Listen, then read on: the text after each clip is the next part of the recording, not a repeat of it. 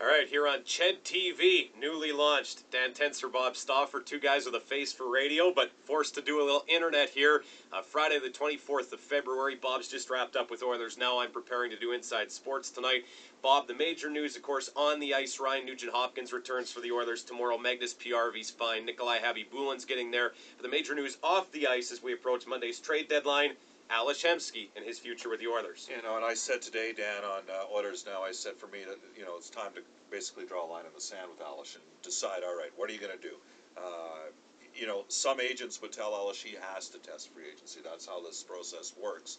Uh, I think that some of Ales's teammates really appreciate him being around. I think that the perception out there among some that he's not a popular guy in the dressing room is a complete myth.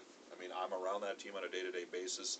I know how the veteran players feel, how the, how the younger players feel. This is a talented guy that, uh, since the lockout, has put up, you know, top 10 numbers on the right side, point per game. So that's a difficult player to replace. But in my mind, I'd offer Hemsky a two-year deal and say five million bucks and say this is what it is. And if that's not good enough, then you'd start perhaps looking at trade options. And there will be lots of teams interested. It's picking up on that front. Uh, it goes without saying, including a couple surprising teams that maybe people didn't originally think of. So the Oilers are going to have some options here, as to will Ales. Absolutely, and it certainly sounds like that two-year deal is on the table. Sounds actually like Ales Hemsky is warming to the idea Right. of the two-year deal. So we'll wait and see there. Uh, the thing for the Oilers to consider is if you end up moving Ales Hemsky, you've got to consider what you get back for him, and you've also got to consider replacing him. And if you can get Hemsky to warm to the two or three year deal, that's pretty appealing because though you'd save yourself some money, you don't necessarily need it anytime soon. And to find a guy to do what Ales Hemsky does, you've talked a lot about the points per game, be difficult.